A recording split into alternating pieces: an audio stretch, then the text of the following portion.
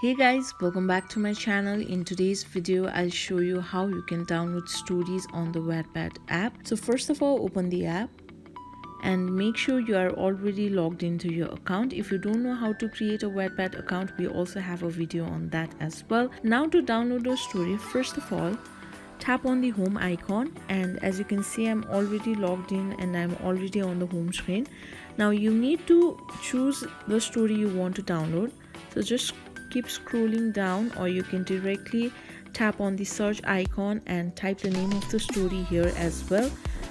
Or just tap on any of the stories you want to read. Now here at the bottom of the screen you will see a plus sign right beside the start reading. So if you want to download this book to your library or to your reading list tap on the option and then tap on done. And now that will be downloaded on your library. Now to access to your library just tap on the three lines here at the bottom of the screen. And as you can see now my book is on the process of downloading here. That's my library.